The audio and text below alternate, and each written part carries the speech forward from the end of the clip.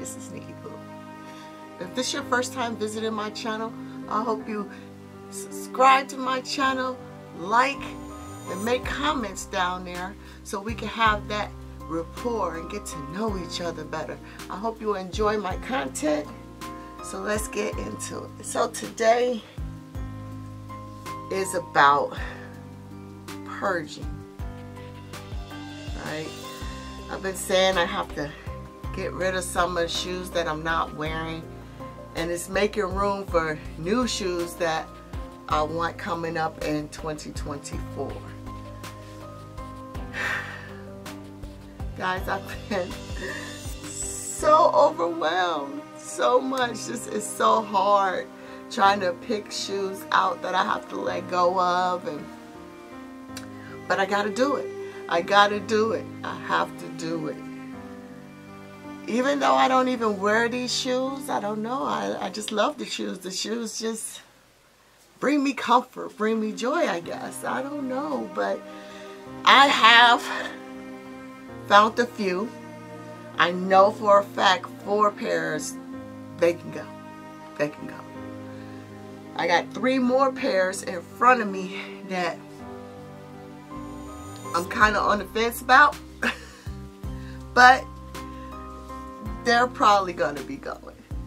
So let me start off and show you the shoes that I know for a fact can go. Alright, now the reason that this is easy for me to pick these fours is because it's a style of shoe that it's just not my taste. Not that the shoe is ugly, not that it's just not my taste. Not, and I tried, you know. I tried to give the brand um, a fair shake and not every shoe I don't like in this brand, but this is the Joe Fresh Good 550s. What was these called? Uh, uh, conversations or something like that. Conversations Among Us or something like that. I never wore I'm not a canvas person. And when I purchased these, because I do wear 550s, I will wear 550s, but when I purchased them originally, I did not know that they were canvas. I didn't. Didn't pay attention to that fact. Um, I hit on them, got them, and when they came in, I was like, oh man, they canvas. That's just me. I'm not a canvas person. Now, I do have a couple of shoes that are canvas, but um, I'm really not because it's so hard to keep clean.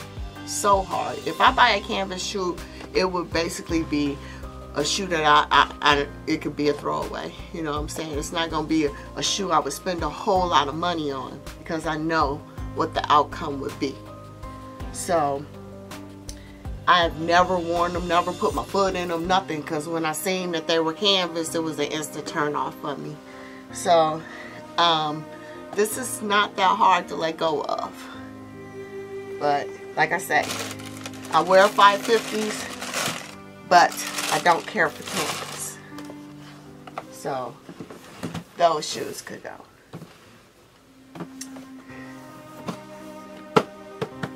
Another Joe Fresh good. What'd that say? Made for us. This is, um, I mean, the quality on point. I, I mean, really, the, the box, everything, every on point. Material on the shoe, on point. Just not me, not my style. It's just not my style. It's the baby shower blue. What is it? Voices Among Us or something like that or something. But great material. Colors is pretty. That's why I got it. And I tried, you know, I wanted to try, I was trying to give New Balance a chance. So I was buying like each one of their styles. I was buying the V1, 2, 3, 4, 5. Didn't get the V6s, but I went up to a 5. Got like three pairs of 9060s. I got the 2002 Rs. So I was trying because I know it's in my psyche. In my psyche because, like I said, my granddaddy used to wear New Balances, and I just, like I say, my granddaddy wasn't a stylish person, so I, we can't rock, we can't rock the same thing. We can't. So, so, uh, I was trying to, you know, give it a chance, see if it, if I could outgrow that thinking, and, but it's still some things about the shoe that I don't like for me. But it's a nice looking shoe, just not for me. It's not my style, my, my taste. But it's okay. I'm not down in it. It's just not for me.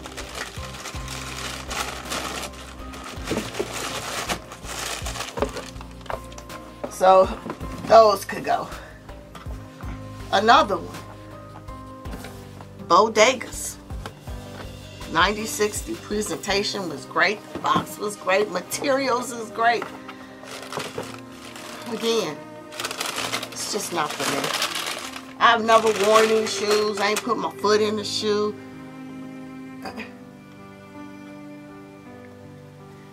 It's, it's just it just doesn't appeal to my taste. So instead of them just sitting here, I'm like, might as well just go ahead and let them go go to a good home to somebody who really likes them and will appreciate them, you know? So that's why these are easy for me to let go because I've tried it, you know? I've actually tried it and it hasn't changed my feelings on how I feel about it. And I saw these before I had got the um, baby shower blue, um, the Joe Freshgoods, I had saw these. Now these are all leather pair. And the other two pairs are suede. So I wanted to try each style to see, you know, trying to see if something would click and change my um, feeling on how I feel about them. And it did. So these four pairs were were easy. The, the, these were easy to pick. They were real quick and easy. So I'm like, okay, well that's four cases that's empty right now. So, so that was pretty easy for me. But man, it is getting so hard. So, I picked these three. One pair that I have picked is the patent breds. Now, I like Chicago style over bred style. As you see, my bred ones are still dead stock. But I have to have them in my collection because Jordan wore. So when these was coming out, it was hyped up so tough and and again the resale was booming in. I mean it was really booming in. So it was really hard to try and catch shoes and and get them before the price skyrocket and go through the roof. So I tried to get them, I couldn't get them and I hurried up and went on ahead when I seen the price was down a little bit and got them on StockX pretty close to retail but they was I got them on StockX and I paid resale for it but um, I caught it before that price like really like went through the roof so I jumped the gun on these because if I thought that I liked them I'm like I better get them before the price skyrocket. See, that's what that, that resale game, that's what it did to, that's what it did to me, right? It's like I'm trying to find a, a, a spot to cop a shoe before that price goes through the roof. And I'm not even quite sure if I even want the shoe. But I gotta get it. I gotta get it, right? So I jumped the gun and got these. They look pretty. They do. They look pretty. And I like that little Jumpman on the side there, even though I would never wear it with that on there. But I had these shoes now for what? It seemed like, what, two years almost or whatever? And haven't, I haven't even went that route. And of course, this was this is like a dress shoe to me anyway. All my patent leather shoes are like dress shoes, you know. So, but even even still at that, I still haven't went for these yet. Uh, but they're pretty, you know. They are pretty. But they're just sitting there collecting dust. And I don't think that I'll be wearing these. So, because I still have a lot of other options. So I'm contemplating on letting these go. It's so hard, y'all. It's so hard because you don't want to make the wrong decision. And then you come back and you be like, dang, I could have wore those patent breds today or this would have went perfect with it. you know, it's just, because you know when you go back to get them, the price is probably going to be through the roof. And you're going to be like, dang, I had them at a cheaper price. and I got to pay more for them. Crazy. Now these, I know for a fact that I could let these go. But I really didn't want to let these go yet until they re-retro the white cement fours. Yeah. I I have not rocked these yet. I haven't even looked at them. You know what I'm saying? They, they're just in the case. Just sitting there. So, I think I can let these go. These the, what, Midnight Navy or Navy Jordan 4s. Not wrong with them. They clean. They look good. I just had too many other options. And if I haven't even looked at these shoes all year, you know what I'm saying?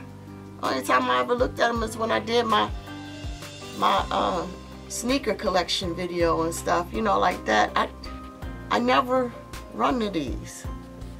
So I think I can let these go. Another pair, which is a lot of people love these shoes, but military black. They're clean. There's nothing wrong with these shoes. But I have so many black and white shoes to choose from. I don't run to these. Then they, they came out with the Jordan 4, you know, SBs. Then they're coming out with military blues, and those are a must, must cop. That's a definite, I gotta get that shoe. So, I don't really think I need these. I don't. I don't. But I know that Jordan 4 prices goes through the roof and the scare part is letting them go. You know, you, you get them for retail if you decide down the line, couple maybe not this year, maybe next year, you decided you want them now, they four, five hundred dollar shoes. Guys, this is really hard for me. This is a real dilemma because I love my shoes. But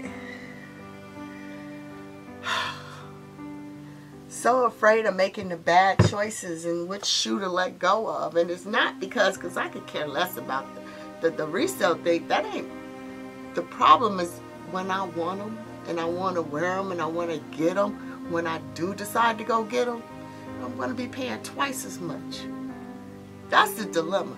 Not that I'm looking for a come up. I got plenty of shoes if I was looking for a come up that I could get rid of and just get that money. You know what I'm saying? That's not what I'm like. That's not. I love my shoes. It's not about the resale game for me. It's about me having the shoes that I want and be able to wear them when I want to wear them. That's all. And it's really difficult, really difficult to let go of certain shoes because Though I may not want to wear them now, I may want to wear them later. But I have to do it. I have to do it. This is where the discipline comes in. I'm gonna need you guys' feedback. Help me get through this. and, and and hopefully the the suggestions and the help come from like-minded people people that understand what I'm going through and not people that saying it's just a pair of shoes. You wouldn't understand because that's not your thing. But if somebody if it was something that you were passionate about something you cared about then you could understand if if you had to get rid of it or let go of it. And I'm passionate about my kicks and I love my kicks so this is so hard but I'm going to get through it. I'm pushing myself. I'm going to get rid of these shoes. It would be nice to just, if I could do some trades, some even like, you know, if it was some shoes that was out when I knew it was, and I could just swap, bloom, and be done, that would be even better. But I don't know how this market is going to be. So I, I need to have my cases empty before the shoes get here. so yeah guys, this is what I'm going through. I'm doing a little bit each day because it is really stressful. It is. And um, I'm going to need you guys help. Talk me through it. Walk me through it. Help me out. Um, you guys have seen my shoe collections and you know give me some ideas of what shoes that you know you think I should possibly get rid of I mean because it's really hard you know it's really hard but I'm gonna get through it and I'm going to do it and like I say I love my kicks but it is becoming overwhelming. I have entirely too many and I'm not looking for my co my collection to grow. Okay? I am looking for my collection to change, but I'm not looking for it to grow. So, this is what we're going to have to be doing every year is purging out bring in, purging out, and not necessarily, hey, there, because I'm to try my best not to spend resale for shoes, I might not be able to cop all the shoes that I want because of that. But we'll see. We'll see what happens. But like I said, I'm, I, if I could do some trades, and I, I'm cool with that, you know. It's about getting the shoe that I want, and I don't want to pay more than I have to. so, but that's what I'm up to, guys. It's a little rough, but I'm going to get through it. And we're going to see what's going to happen throughout the year. So, to a better 2024, this is Nickie Poo, and I'm out. Peace.